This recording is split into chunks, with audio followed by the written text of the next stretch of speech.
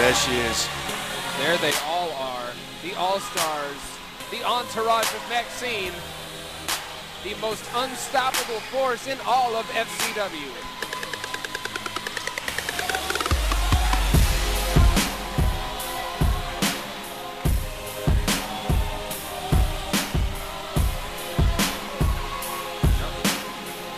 Lucky. Bo Rotundo. He's someone that, that has fought and fought and fought and proved himself and proved himself against every single odd that could be thrown at him.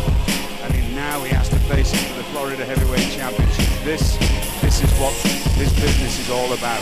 However, Lucky understands that he has got to perform here tonight, whether he likes it or not, and he's not going to show that. He's going to keep his poker face on, basically, while he's facing Bo Rotundo. He, he knows what that title is all about. He's held it around his waist for months. And if he lets Bo know that Bo has got to Lucky, that might spell certain doom for the title reign of Lucky Cannon. Bo Rotundo finally got one over last week on the All-Stars, and this really has been the worst night in the All-Stars history. Not only did Damien Sandow lose his effort against Seth Rollins at the top of the show for the FCW 15 championship, not only did Oksana walk out on Maxine, but Maxine was fired as the general manager. That means that if if something goes down in this match that Maxine